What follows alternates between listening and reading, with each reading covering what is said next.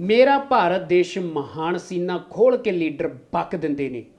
ਬਾਹਰੋਂ ਆਏ ਮਹਿਮਾਨਾਂ ਸਾਹਮਣੇ ਇਸੇ ਮਹਾਨ ਭਾਰਤ ਦੀ ਅਸਲੀਅਤ ਨੂੰ ਚਿੱਟੀਆਂ ਚਾਦਰਾਂ ਨਾਲ ਢੱਕ ਦਿੰਦੇ ਨੇ। ਰੈਲੀਆਂ 'ਚ ਮਹਾਨ ਭਾਰਤ ਦੇਸ਼ ਦੇ ਨਾਰੇ ਲਾਉਂਦੇ ਐ।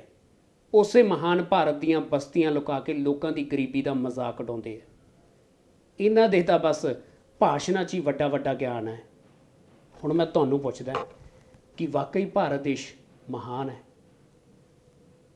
ਦੋਸਤੋ ਸ਼ੋਅ ਨਾ ਹਜੇ ਖਤਮ ਨਹੀਂ ਹੋਇਆ, ਸ਼ੁਰੂ ਹੋਇਆ ਸਾਡੀ ਨਾ ਐਕਚੁਅਲੀ ਪ੍ਰੋਬਲਮ ਵੀ ਹੈ ਕਿ ਅਸੀਂ ਨਾ ਭਾਵਨਾਵਾਂ ਦੇ ਵਿੱਚ ਜਲਦੀ ਵਹਿ ਜਾਂਦੇ ਹਾਂ। ਤੇ ਇਸੇ ਦਾ ਫਾਇਦਾ ਚੱਕ ਕੇ ਇਹ ਲੀਡਰ ਸਾਨੂੰ ਫੁੱਦੂ ਬਣਾਈ ਜਾਂਦੇ ਤੇ ਕਮਾਲ ਦੀ ਗੱਲ ਹੈ, ਅਸੀਂ ਬਣੀ ਵੀ ਜਾਂਦੇ ਹਾਂ। ਸੋ ਮੈਂ ਤਾਂ ਇੰਨੇ ਹੀ ਕਹੂੰਗਾ ਕਿ ਅੰਨੇ ਭਗਤ ਨਾ ਬਣੋ, ਅੰਨੀ ਦਿਓ। ਸੋ ਆਲਤੂ ਫਾਲਤੂ ਸ਼ੋਅ ਦੇ ਵਿੱਚ ਤੁਹਾਡੇ ਸਾਰਿਆਂ ਦਾ ਵੈਲਕਮ ਹੈ ਤੇ ਅੱਜ ਦੇ ਸ਼ੋਅ ਦੇ ਵਿੱਚ ਆਏ ਨੇ ਬੜੇ ਕਮਾਲ ਦੇ ਵੱਡੇ ਰਾਈਟਰ ਉਹ ਆਪਣੇ ਆਪ ਨੂੰ ਕਹਿੰਦੇ ਨੇ, ਉਹ ਹੈਗੇ ਕਿ ਨਹੀਂ, ਉਹਨਾਂ ਨਾਲ ਗੱਲਬਾਤ ਕਰਕੇ ਪਤਾ ਲੱਗੇਗਾ। ਹਾਂਜੀ, ਕੀ ਹਾਲ ਚਾਲ ਨੇ?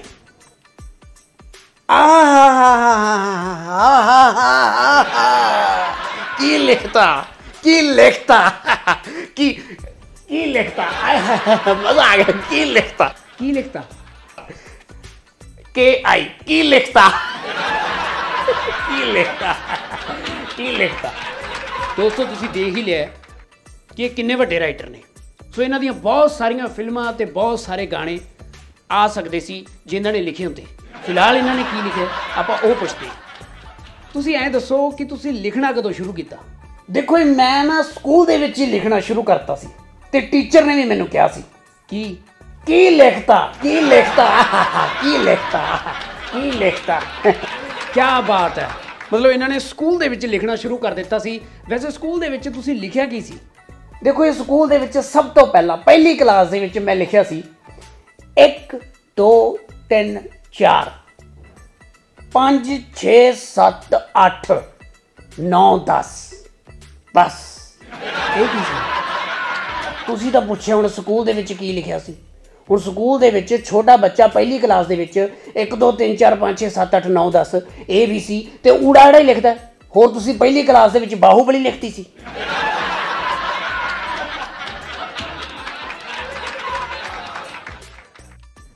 ਮੇਰੇ ਕਹਿਣ ਦਾ ਮਤਲਬ ਇਹ ਹੈ ਕਿ ਤੁਸੀਂ ਗਾਣੇ ਕਦੋਂ ਲਿਖਣੇ ਸ਼ੁਰੂ ਕੀਤੇ? ਗਾਣਾ? ਵਾਹ ਕੀ ਬਾਤ ਹੈ। ਤੁਸੀਂ ਵੀ ਕਹੋਗੇ, ਕੀ ਲਿਖਤਾ ਸੀ ਕੀ ਬਾਤ ਹੈ। ਸੋ ਗਾਣਾ ਲਿਖਣਾ ਮੈਂ ਸ਼ੁਰੂ ਕੀਤਾ ਸੀ ਜਦੋਂ ਉਸਤਾਦ ਜੀ ਗੁਰਦਾਸ ਮਾਨ ਸਾਹਿਬ ਨੂੰ ਜਦੋਂ ਮੈਂ ਪਹਿਲੀ ਵਾਰ ਸੁਣਿਆ, ਉਹਨਾਂ ਨੂੰ ਦੇਖਿਆ, ਸੋ ਉਹਨਾਂ ਨੂੰ ਦੇਖ ਦੇਖ ਕੇ ਮੈਂ ਲਿਖਣਾ ਸ਼ੁਰੂ ਕੀਤਾ ਸੀ। ਗਾਣਾ ਸਭ ਤੋਂ ਪਹਿਲਾਂ ਲਿਖਿਆ ਸੀ। ਵੈਸੇ ਕਿਹੜਾ ਗਾਣਾ ਲਿਖਿਆ ਸੀ? ਛੱਲਾ ਖੂਹ ਤੇ ਤਰੀਏ ਵੇ ਗੱਲਾਂ ਮੂੰਹ ਤੇ ਕਰੀਏ ਵੇ ਸੱਚੇ ਰੱਬ ਤੋਂ ਡਰੀਏ। ਇੱਕ ਮਿੰਟ ਇੱਕ ਮਿੰਟ ਲਾਸਟ ਲਾਸਟ ਲਾਈਨ ਸੁਣ ਕੇ ਬੜੀ ਕਮਾਲ ਦੀ ਹੈ ਮੇਰੀ ਫੇਵਰਟ ਹੈ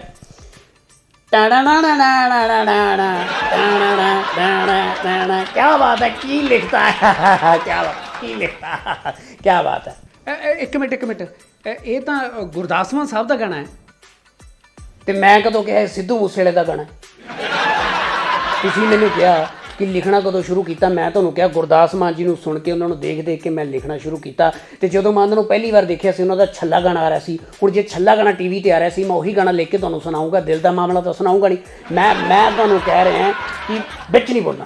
ਮੈਂ ਜਦੋਂ ਗਾਣਾ ਸੁਣਾ ਰਿਹਾ ਹਾਂ ਵਿੱਚ ਮੈਨੂੰ ਟੋਕਣਾ ਨਹੀਂ। ਨਹੀਂ ਤਾਂ ਮੈਂ ਮੈਂ ਪੈਨ ਦੇ ਨਾਲ ਨਾਲ ਤੁਹਾਡੇ ਮੱਥੇ ਦੇ ਉੱਤੇ ਫੁੱਦੂ ਲਿਖ ਦੇਣਾ।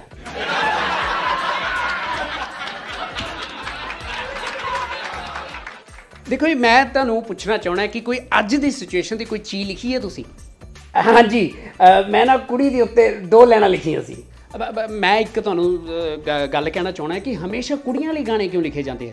ਮਤਲਬ ਕੁੜੀਆਂ ਦੇ ਸਿਲਕੀ ਵਾਲ ਨਸ਼ੀਲੇ ਨੈਣ ਉਹਨਾਂ ਦਾ ਹਾਸਾ ਕੁੜੀਆਂ ਦੀ ਚਾਲ ਕੁੜੀਆਂ ਦੇ ਮਤਲਬ ਕਮਾਲ ਦੇ ਸੂਟ ਸੋ ਮੁੰਡਿਆਂ ਲਈ ਕਿਉਂ ਨਹੀਂ ਗਾਣੇ ਲਿਖੇ ਜਾਂਦੇ? ਨਹੀਂ ਮੁੰਡਿਆਂ ਨੂੰ ਮਤਲਬ ਕੀ ਬਵਾਸੀਰ ਹੋਇਆ। ਮੁੰਡਿਆਂ ਨੂੰ ਮਤਲਬ ਤੁਹਾਡੇ ਗਾਣਿਆਂ ਦੇ ਵਿੱਚ ਮਿਰਗੀ ਪੈਂਦੀ ਹੈ। ਮੈਂ ਤੁਹਾਨੂੰ ਪਹਿਲਾਂ ਕਿਹਾ, ਵਿੱਚ ਨਹੀਂ ਬੋਲਣਾ, ਵਿੱਚ ਟੋਕਣਾ ਨਹੀਂ। ਮੈਂ ਨਾ ਹੱਥ ਦੇ ਉੱਤੇ ਫੁੱਦੂ ਲੈ ਕੇ ਤੇ ਤੁਹਾਡੇ ਮੂੰਹ ਦੇ ਉੱਤੇ ਚਪੇੜ ਮਾਰਨੀ ਹੈ ਤੇ ਫੁੱਦੂ ਤੁਹਾਡੀ ਗੱਲ ਦੇ ਉੱਤੇ ਛਪ ਜਾਣਾ ਹਾਂ। ਫੁੱਦੂ ਗੱਲ ਨਹੀਂ ਕਰਨੀ।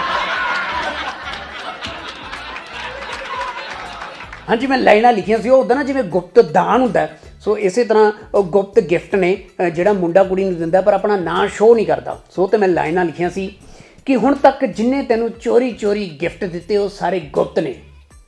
ਹੁਣ ਤੱਕ ਜਿੰਨੇ ਤੈਨੂੰ ਸਾਰੇ ਚੋਰੀ ਚੋਰੀ ਗਿਫਟ ਦਿੱਤੇ ਉਹ ਗੁਪਤ ਨੇ ਉਹ ਚੱਲੀਏ।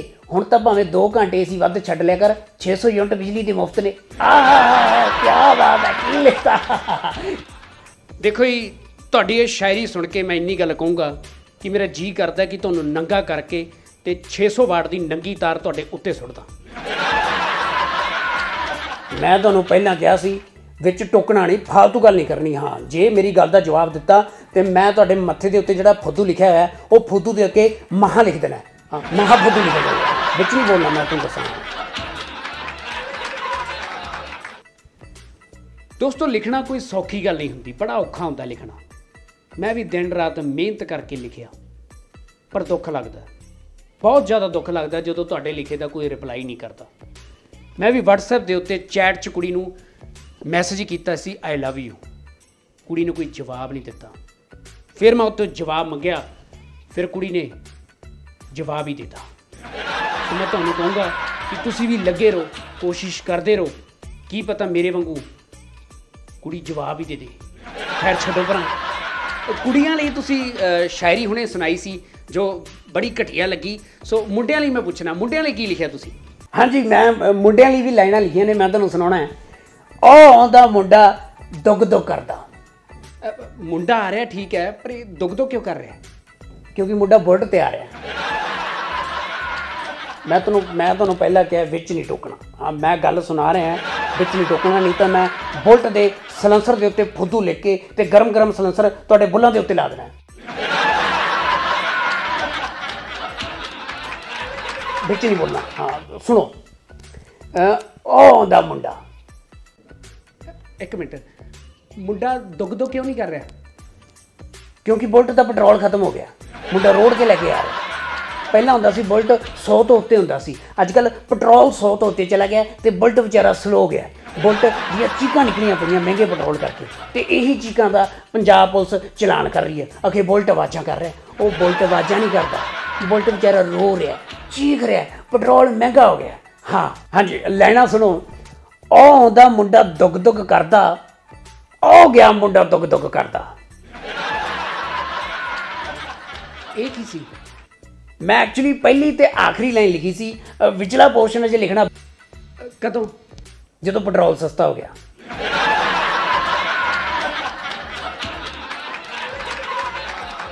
ਤੁਸੀਂ ਕੋਈ ਇਹੋ ਜਿਹੀ ਚੀਜ਼ ਸੁਣਾਓ ਜਿਹਨੂੰ ਸੁਣ ਕੇ ਅੱਗ ਲੱਗ ਜੇ। ਲਓ ਜੀ ਫਿਰ ਸੁਣੋ। India, America, Canada, China, Japan, Nepal, Australia, West Indies, Netherland New Zealand England, Scotland, Holland, Poland, Finland, Ireland, Iceland, South Africa, South Korea Jamaica Colombia, Libya, Kenya, Sri Lanka, Bangladesh, Pakistan, Kazakhstan, Afghanistan, Dubai, Iraq Iran Argentina, Brazil, Germany, France, Greece, Italy, Indonesia, Malaysia, Mexico, Norway, Nigeria, North Korea, Spain, Syria, Sweden, Turkey, Tokyo, Uganda.